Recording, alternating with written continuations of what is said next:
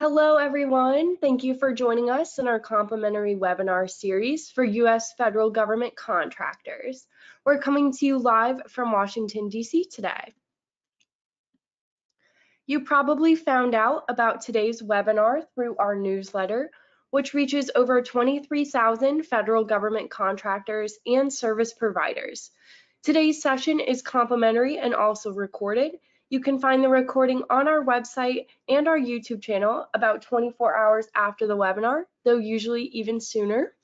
We have over 540 complimentary webinars on our YouTube channel. This includes all 52 parts of the FAR, all 52 parts of the DFARS, and hundreds of webinars on strategic and tactical topics. If you'd like to advertise in our newsletter or in any of our upcoming webinars, please email us at hello at jenniferschaus.com. And a little bit more about us. We are a specialized consulting firm focused on working with established federal contractors. We work with product, service, and software firms across the globe. For more information about our services, you can visit our website and select About Us. And as I mentioned, today's webinar covering the FAR supplements is complimentary and recorded. We began this series in January 2022, and you can find the past recordings on our website and the future schedule with the registration links. Um, but here's just a look at the schedule. Um, after today, we only have one more FAR supplement. So um, that's crazy, but you can find um, all the recordings of the past webinars, um, again, on our website and on our YouTube channel. And then on Fridays, we cover the same agency or department in our playbook series. The Friday webinars discuss upcoming bidding opportunities, contracting trends, small business resources, and they often feature a government speaker. Um, so our our next one um, will be the Department of Veterans Affairs on the 26th. Um, you can find those on our website under the Playbook tab. And please join us for our specialty webinar series covering executive orders, House and Senate committees, and how they impact federal contractors. These webinars will be complimentary and also recorded. The registration links are within the slides that will be sent out, uh, sent out to you after today's webinar. And we've added one more um, procurement playbook webinar, this time on a Tuesday. It'll be doing business with the NSA on Tuesday, August 30th um, at 12 p.m. This will be a live webinar only and not recorded. The slides are not available after the webinar. So don't miss this rare opportunity to participate. And our government speaker on that day will be taking audience questions during the webinar. And please join us for a special webinar covering cybersecurity compliance and enforcement. Our friends at Arnold and Porter LLP will be presenting in this complimentary webinar on September 30th at 12 p.m. Eastern. And then please note this fall we'll be starting a new webinar series covering subcontracting opportunities in the different government departments. These webinars will be on Wednesdays at 12 p.m. Eastern and they begin September 7th with the Department of Agriculture. Again, you can find the registration links and full schedule on our website, this time under the subcontracting tab. And now we would like to thank our sponsors who help make this webinar series possible. First, we'd like to thank the Virginia PTAC. Virginia PTAC is based out of GMU in Fairfax and offers free one-on-one -on -one counseling to firms in Virginia on federal, state, and local procurement topics. Online resources and group trainings are free with no restriction on business location. If you're interested in learning more, please use the links provided to explore what PTACs can offer. Next, we'd like to thank the Federal Business Council. The FBC creates and manages virtual and in-person meetings and events to connect industry and government thought leaders, product providers, and solutions with government programs that use them. The FBC works with a variety of federal agencies to connect government and industry in the form of in-person and virtual conferences, training events, policy dialogue, and outreach. Over the last 40 plus years, FBC has become a comprehensive resource for connecting industry and the federal government. Excuse me. Next, we'd like to thank Daston. Daston is an IT and cloud solutions provider working with corporations, the military, and government agencies to lower their costs, increase scalability, improve operational efficiency, and meet compliance regulations using targeted cloud-based solutions. Daston is a certified partner of Oracle NetSuite, a premier tier Google Cloud partner, and certified partner of Cisco, Virtu, AO and Authenticate. For more information about Daston services or to schedule a complimentary consultation, please email Joe Alston. Next, we'd like to thank C3. C3 ISIT develops tailor-made technology solutions that increase efficiency, bolster productivity, and improve business processes. C3 is the leading provider of managed IT services as well as compliant cybersecurity solutions for federal contractors. C3 works with defense contractors to achieve and maintain CMMC 2.0, DFARS, and NIST 800-171. Contact C3 to learn more about the CMMC 2.0 Readiness Program.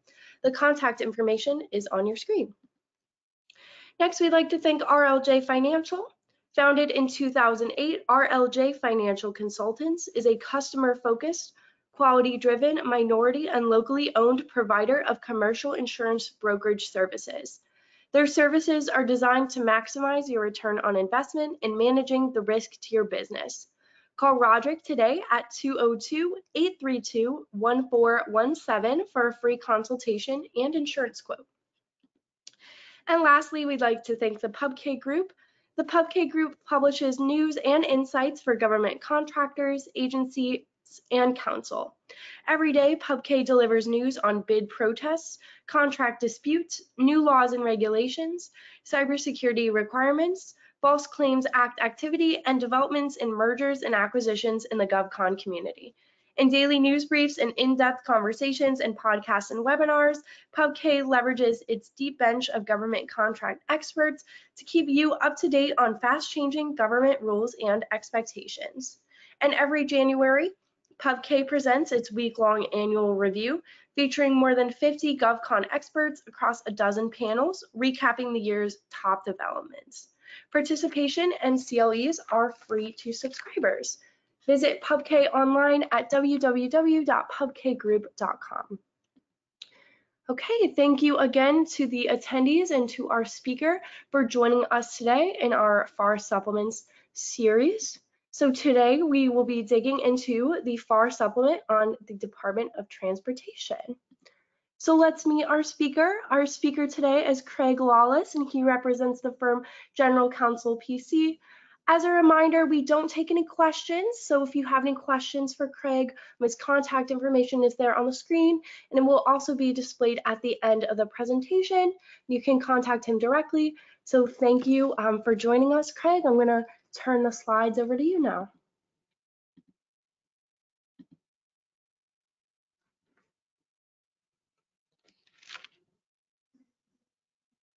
As I'm transitioning my screen, if you would please give me a thumbs up that you can see me in presentation mode. Yep, you're all good. You're all set. Fantastic. Thank you very much for the intro. Um, Craig Lawless, I am the senior counsel at General Counsel PC. That's a law firm in McLean, Virginia, just outside of DC on the Virginia side of the Potomac. Um, I did want to, before I start, give a shout out to Jennifer Schaus and Associates because uh, for a very long time, even when I was not practicing in private practice, I have been an avid user, and my clients today are an avid user because I have several years both as a business development lead with Lockheed Martin uh, for Lockheed Martin Space, uh, a systems engineer and program management for Lockheed Martin, and an in-house director of contracts and general counsel in-house. So if I think about what we're going to talk about today, the relevance to these 50 or so people that are talking to us or working with us right now on this session is really what I call the right hand of a government contractor that has five fingers. And as I think about those five fingers, I'm going to put some context into those five fingers from the standpoint that those fingers are legal, contracts, finance, business development, and program management. So that's the hand that grabs the FAR or the FAR supplements to take a look at them for the government contracts entity.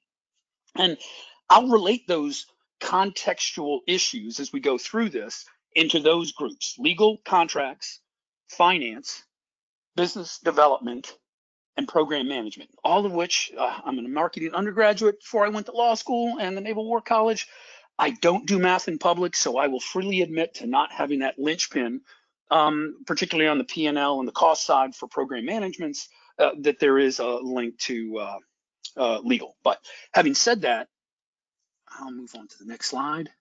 I wanted to give you a brief overview of the Department of Transportation. Uh, some of you have not worked with them before. Others have been longtime uh, providers of services as a government contractor to Department of Transportation. We might even have some members of the Department of Transportation online as well. But as a brief summary, that mission, the current mission for the department is to deliver the world's leading transportation system, serving the American people and economy through the safe, efficient, sustainable, and equitable movement of people and goods.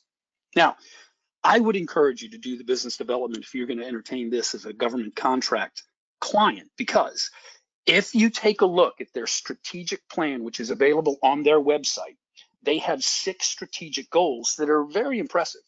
And under this administration, under Secretary Pete Buttigieg, uh, himself a uh, naval intelligence officer as well in the reserve, uh, like me, um, had identified six strategic goals that the Government Accountability Office has been profiling for several years in seven issues and areas of improvement that the GAO had recommended. And those correspond to strategic goals that are coming to fruition, including safety, economic strength, and global competitiveness, equity, climate and sustainability that you'll see woven throughout a lot of their procurement issues right now, organizational excellence, and oh yeah, let's squeeze in transportation in there while we're at it. So those strategic goals in their strategic business plan and their strategic plan that goes from 22, 2022 to 2026 is an outstanding read and vital business development uh, perspective on the values of what the department is. But if we talk a look, take a look at what the FY 2022 contract summary is, and this is available on GovSpend if you're wondering where I got that from. Um, these are available contracts that we can see now.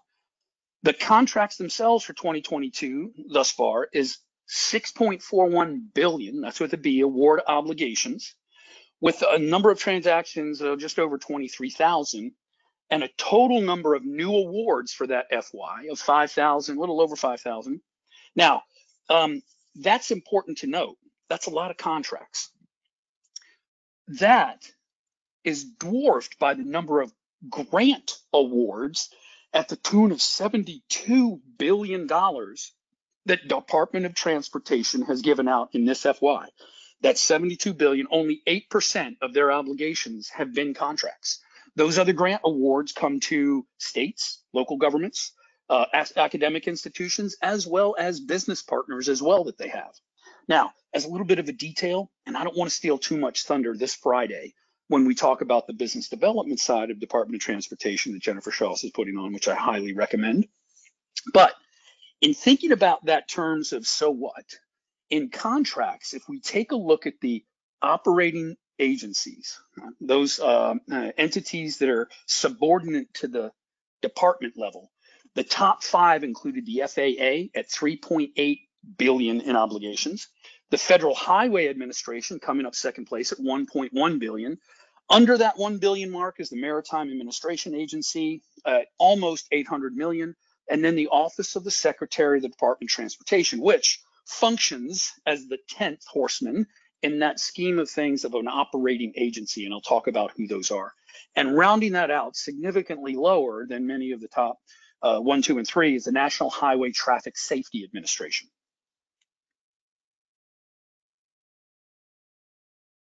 Now, if we talk about operating administrations or OAs as they're called, the OAs that are included and recognized in the Transportation Acquisition Regulation, that's the supplement that is called the TAR, that mirrors the FAR, uh, allows for operating administrations to not only be a head of contract agency or an HCA, but it also allows them to have more restrictive and have a higher approval as well given to them by the TAR in 48 CFR, uh, Code of Federal Regulations, Chapter 12. Now, the FAR is 48 CFR Chapter 1.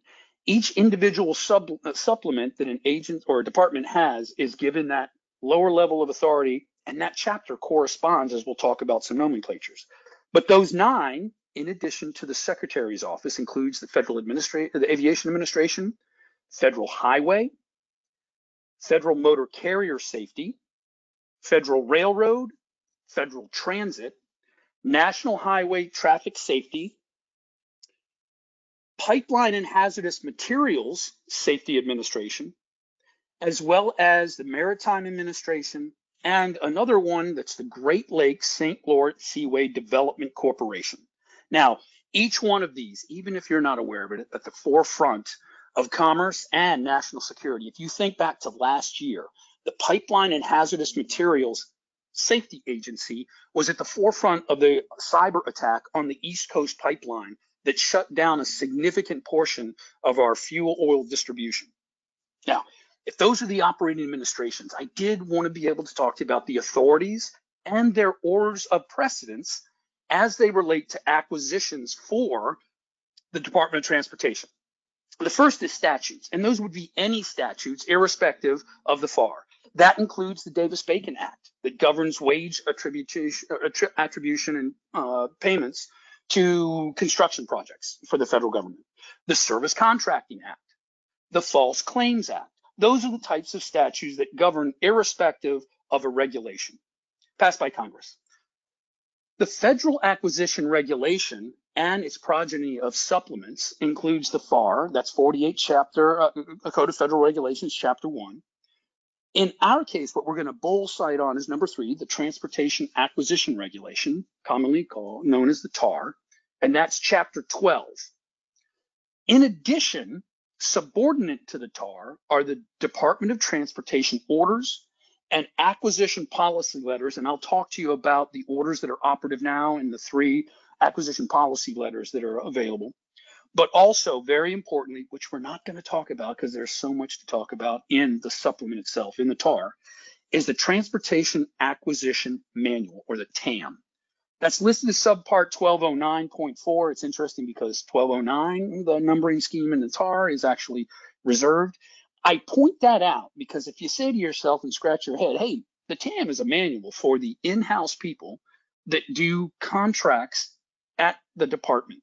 Well, that's true until you have your first bid protest, or you have to get the nuances in what those issues are for the execution of the contract and the administration of the contract.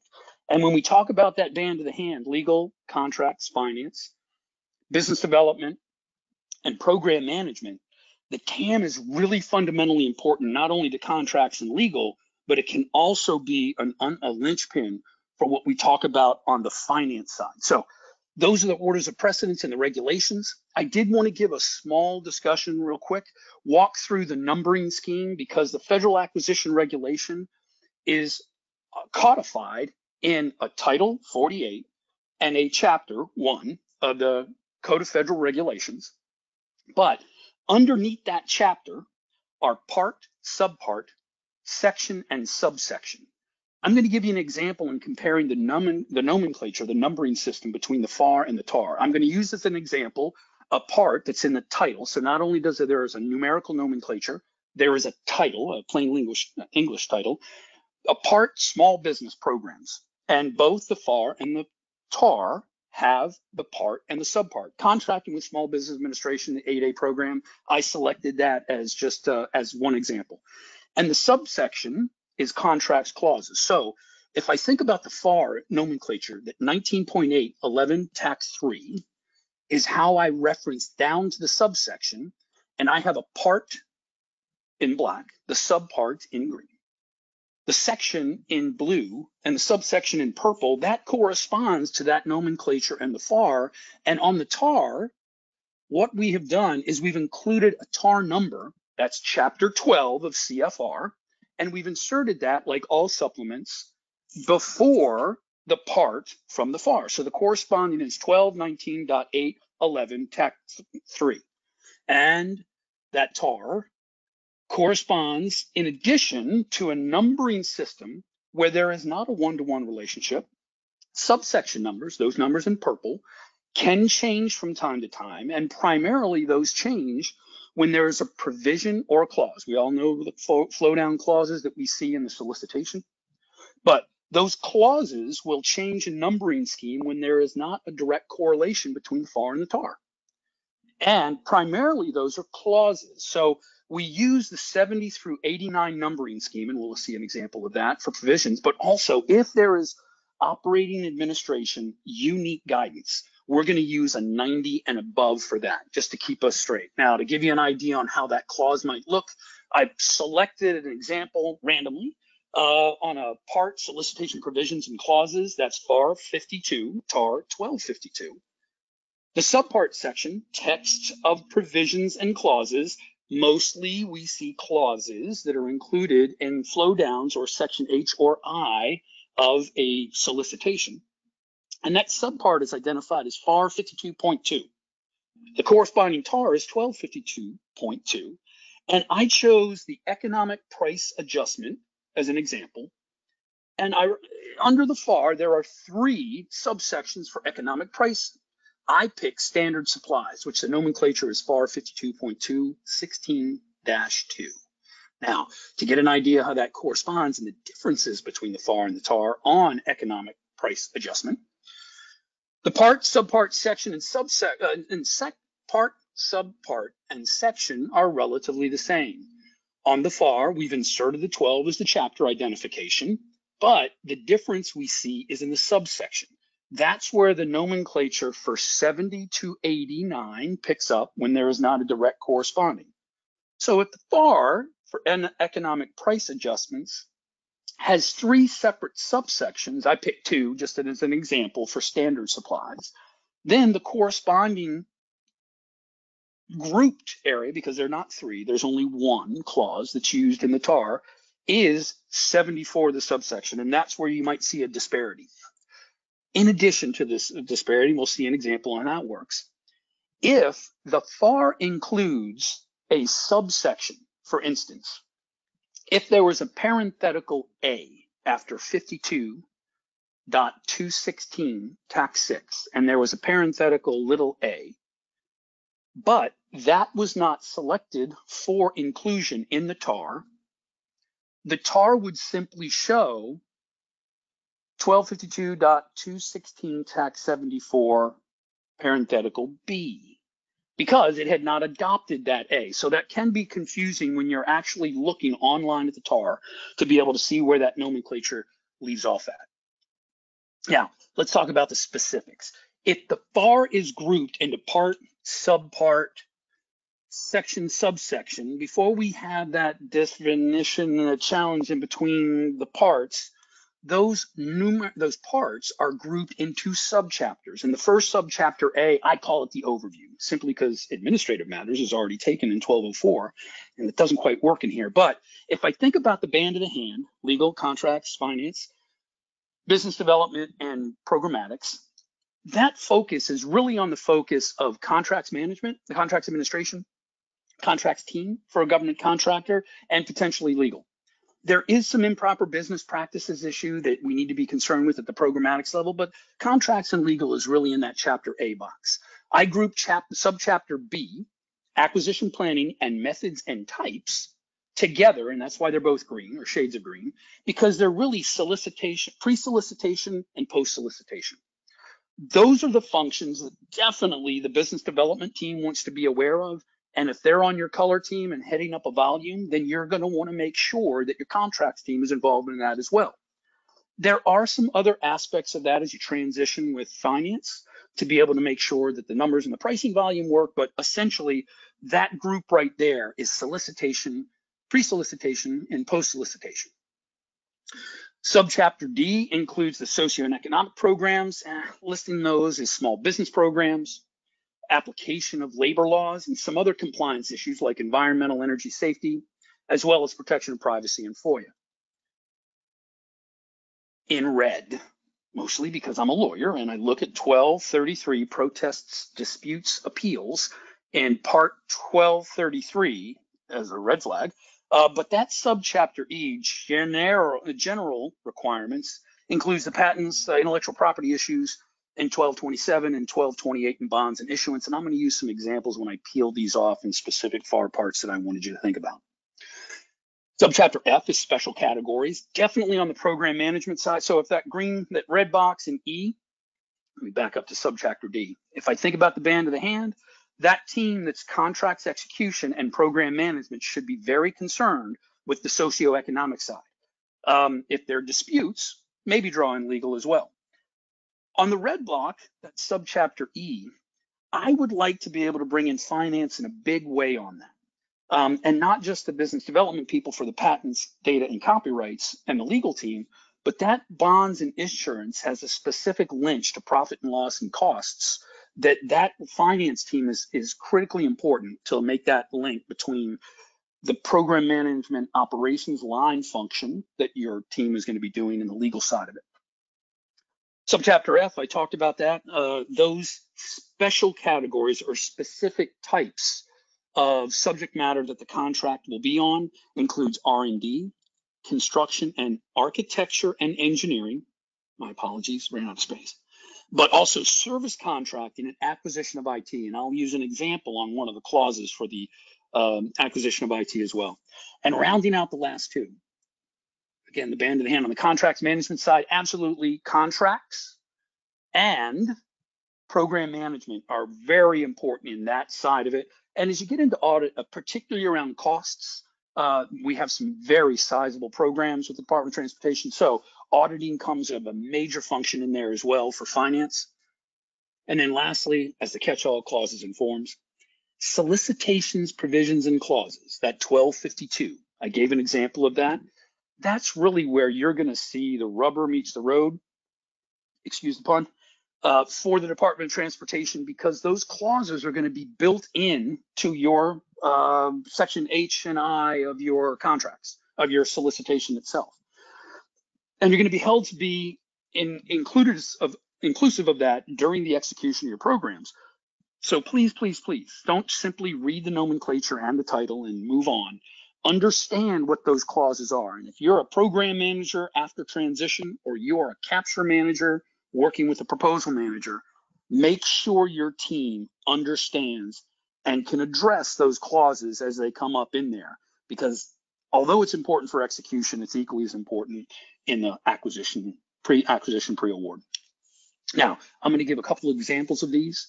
Uh, some of these subparts, or some of these parts and subparts of the TAR are basically just fill in the blank because you have to have somebody identified at each department to do this. Other sections are going to show a big difference from the FAR because they're uniquely tailored issues. That's why we get a supplement because they're unique to that department. In this case, the subpart 1205.1, dissemination of information, really identifies a small and disadvantaged business utilization office. That's office code S40, the address, and really important, again, not to steal the Friday's thunder, but that listing of forecasts for the fiscal year on procurements, planned uh, fiscal procurements, is fundamentally important to your business development team and your finance team. So those things in there inside the TAR, it's not only a compliance with executing the contract for your contract staff. That is the moneymaker when we talk about business development and forecasting and where you can find that essential resources that are tucked into the TAR. Another example on just who's who in the zoo for the TAR is 1206.501 requirements. And in this case, the senior competition advocate, that's the individual who is not only the deputy assistant secretary for administration, and DOT has a very complicated, hmm, they have a very robust uh, he headquarters staff. And there are a significant number of deputy assistants, including the deputy secretary for administration because the Deputy Assistant Secretary for Administration, who is also the SCA, is the direct boss for the senior procurement executive at Department of Transportation that is responsible for all procurement matters. And the senior procurement executive is also senior to all of the heads of contract agencies when it comes down to the, uh, the policies. Uh, I did want to point out uh, another couple of examples. Contracting officers in this case uh, can permit under 1214.302 bid submissions telegraphically. Um, that's important because uh, um, if you're phoning in your bid, knowing that you can actually do that gives a significant amount of flexibility because many agencies, particularly those that are in uh, construction, will not allow that to happen. Uh, but the contracting officer can allow that. Um, there are some very specific, unique issues of the TAR that go to the mission of what the Department of Transportation does. So yes, everybody buys some level of commercial items, pens, papers, pencils, chairs, desks. But some of those unique things that we find in this case, subpart fixed contracts for vessel repair and alter, alteration conversion are uniquely identified to maybe a handful, as in less than five, agencies that operate on the seas or in the inland waterways, Coast Guard, uh, Customs and Border Protection, uh, Navy, Army. But as we see this, we define things like lay days, meaning the time allowed to master of a vessel, uh, the master of the vessel for loading and unloading the same. Great. If you're doing vessel repair, alteration, and conversion, now you have your definition. But the clauses can be specific in what this is, and that identifies why the FAR supplement, the TAR, operates at that level.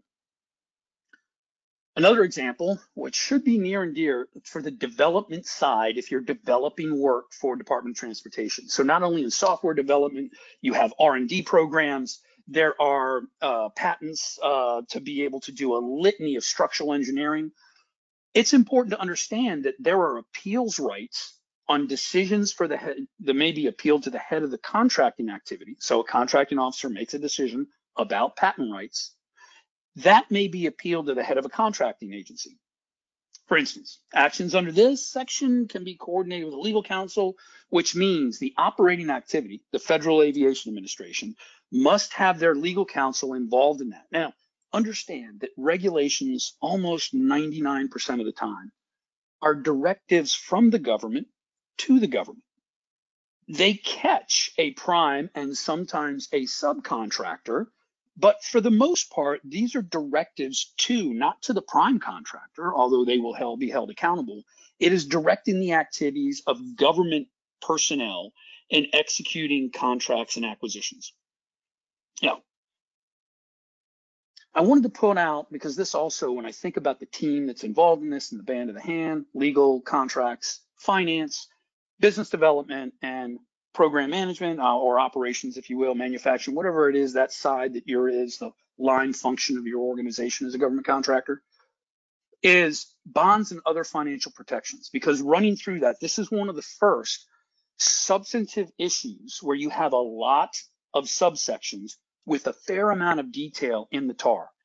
That includes things like furnishing information and really covers surety issues where the Miller Act rights. So the Miller Act was passed to protect subcontractors in government contracts from non-payment by the prime for a variety of issues. But related into that, as we look at some of those other subsections, are the administration of bonds. For instance, the contracting officer shall notify the surety of the holder of the bond, uh, for the surety for the bond within 30 days of the contractor's failure to perform that's wrapped in a lot of other detail on performance and payment of bonds for certain contracts. There's a lot of detail, but as we take a look at that section, if you're in construction, if you're in manufacturing for these types of contracts, understanding where that works and understanding things like waiver inside the TAR is very important. For instance, there is a waiver on very rare exceptions, but contracts for the construction, alteration, and repair of vessels under sections 1535 and 1536 of Title 31, the Merchant Marine Act, is a grounds for waiver and what is uh, involved in that for waiving the bond requirement. Now, warranties was another robust area of the TAR that I wanted to flag for you as well. Subpart 1246.7 under warranties, those limitations include a contractor shall not be required to honor the warranty of any property furnished by the government, except for two examples. One is the defects in the contractor's installation, And the second is the installation or modification in such a manner that invalidates the warranty, right? So you had to have done something bad if the government gave you property. This happens considerable amount of time, especially in multi-part wars where there are different phases of construction projects. Think about the infrastructure bill that was passed several months ago. Think about what we're gonna see in providing for the environmental impact um, and the um, uh, on the recent uh, omnibus bill that was just passed and what those are going to have as an impact on infrastructure and construction and building from a transportation infrastructure side. Now, what I didn't do is I didn't pick out each of the 12 requirements on 1246.706 warranty terms and conditions because it's significant. There are 12 requirements under the terms and conditions for warranties, and there are an additional six for major acquisitions that if you're concerned about those kind of warranties and what they entail, please take a look at those warranty sections under subpart 1246.7. Disputes and appeals. Uh, a major part of my practice right now is bid protests. So focusing on disputes and appeals, uh, bid protest is one form of dispute. Another form of dispute is a claim. This typically deals, these disputes in here really has to do with the Board of Contract Appeals in claims. So a claim is any demand for payment or information request from the government, according to the FAR. So a claim can be many things. It doesn't necessarily have to be bad when you're waiting on some information. If your claim is waiting to get paid, that's not necessarily a good thing. But just like the other departments that have their own boards of contract appeals, like the Armed Services Board of Contract Appeals, both for the DoD and for NASA. The Board of Contract, the Department of Transportation Board of Contract Appeals, the .BCA, rules that pertain to this are codified also in 48 CFR Chapter 63. Important in that is that alternative dispute resolution is heavily emphasized in the Department of Transportation. They have appointed a dispute resolution specialist, and that specialist is responsible for the Center of Dispute Resolution, Office Code C4, that looks to be able to involve that hopefully long before the dot .BCA is included or the Court of Federal Claims. Now, I made the departure from the FAR, the TAR itself, because I wanted to give you what I teased out as some relevant issues to me. I don't know what all of them were, but when I looked at the substance of the TAR and compared it with the FAR in detail, I teased out some of the things that were mostly relevant to me and how I thought of the band of the hand, legal, contracts, finance, business development, and program management, operations, whatever you say. But in addition to the TAR, and I told you about the TAM, the Transportation Acquisition Manual, I did want to highlight some class deviations and some acquisition policy letters that are within the authority of the Department of Transportation to issue. The only active class deviation that I'm aware of right now is to grant a class deviation for both the TAR and the TAM until that becomes uh, operative for the Great Lakes St. Lawrence Seaway Development Corporation. And that's allowing them to provide a head of contracting agency. And that is allowed under subpart 1201.4 tax 70. That's the authority that allows for the class deviation. You see a thumbnail of that on the right hand side. Now, what's what's important is class deviations have a certain time limit. This one was issued in April of 2021.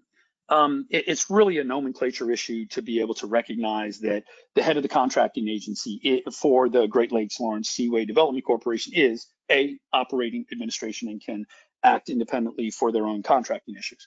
That means warrant contractor contracting officers with warrants are subordinate to that head of contracting agency as well as the contracts administrative staff. In addition to that class deviation, which I'm, I'm not aware of any other deviations currently for the department. In addition to those deviations, we have Department of Transportation acquisition policy letters, those APLs. All of these, all this information is clearly relevant. Uh, uh, if it's clearly relevant, you can discover that on Department of Transportation's homepage. The um, link to uh, procurement is where you would find the underlying substantive documents that I'm referring right now. But acquisition policy letters are usually used for a temporary purpose. And, and in case when we talk about these, it's usually there's a rulemaking in the mix. It's material that's incorporated into, let's say, the TAM, or it could be so expeditious, expeditiously needed in an operating administration that there needs to be some prompt implementation of that. Typically, these are short term, less than one to two years, and these will eventually be incorporated into regulations or guidance for permanent retention. Okay. But essentially, it's a quick fix. It needs to happen now, but it still needs to be under records management. Um, it still needs to be done in a thoughtful process. Um, the rulemaking process can be slow. Um, complicated rulemakings can take, you know, 24 months or longer.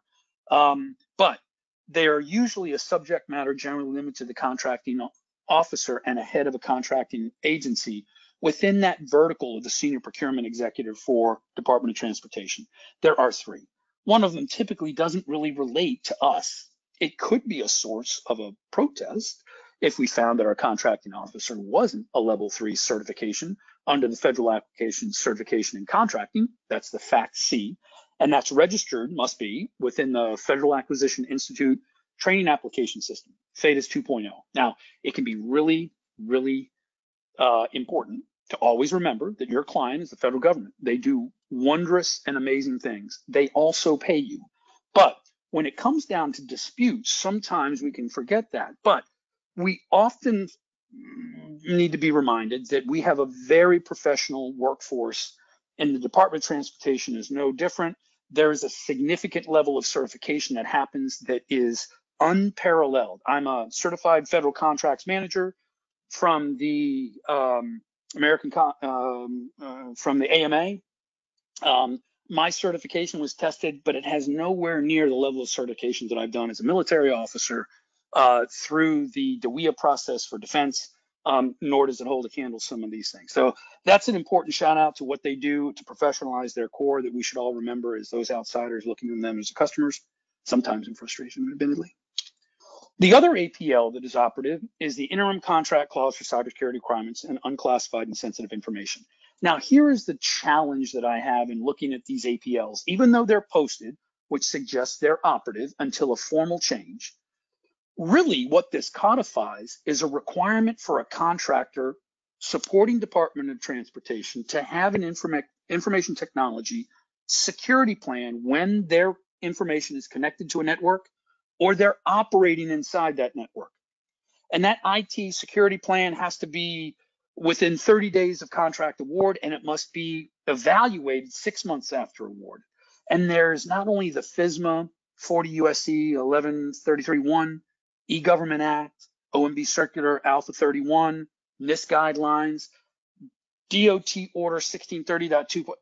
This is somewhat dated because we have seen in the FAR clause side, that's 1252.239 tax 71, that all offers submitted in response to the solicitation must address the approach of completing security plan and accreditation for the TAR clause.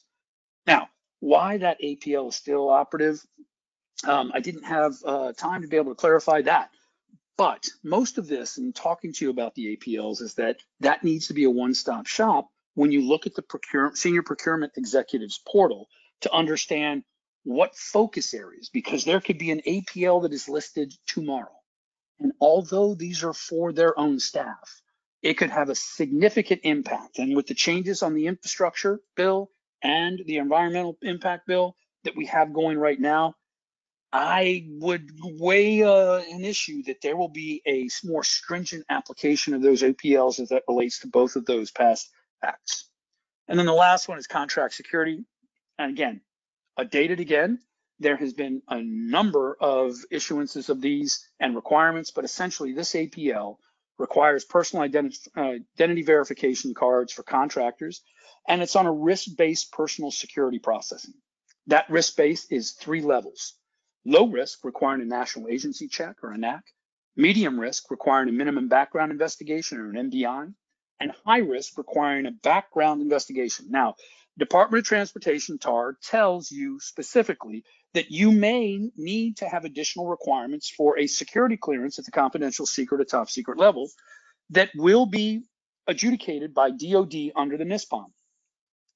And that is an important aspect because if your company is not used to going through the NISPOM process for individual clearances or the facilities clearance requirements that NISPOM also requires, that can be a steep learning curve to be able to do as you transition into protecting not only our, our, our supply chain for what supplies this, which is a major endeavor that most all of you are aware of, but in protecting that infrastructure. I talked about the Pipeline and Hazardous Material Safety Administration and the impact that we had on the freezing of oil distribution that we seen last year. Those are the kinds of things that as we start to have other um, threats that come to fruition, the Department of Transportation is going to be pushed um, into being able to provide that level of security. Yeah, uh, that would be the end um, of the discussion. Um, I, again, Craig Lawless, uh, Senior Counsel with General Counsel PC, located in McLean, Virginia. Um, our firm does not only government contracts and full scope for that, including bid protests, claims, formations, contract adjudication, dispute resolution. Um, we also have a very robust corporate practice, a robust, very robust litigation practice. Um, we uh, have an employment practice. Uh, I particularly uh, focus on employment issues with inside uh, the government contracting sphere, um, but we have a litany of commercial sector clients as well. And we also have business continuity as practice area that dovetails with our estate planning and a family planning practice as well. If you have any questions that I didn't answer here, I'd be glad to take them either an email or a phone call. Uh, let me know. Please remind me that you attended the session. And uh, I wish you all the best in consuming what is a huge resource in Jennifer Schaus. And I look forward to seeing you online at the Friday session for the business development plan for Department of Transportation. Thank you for the opportunity.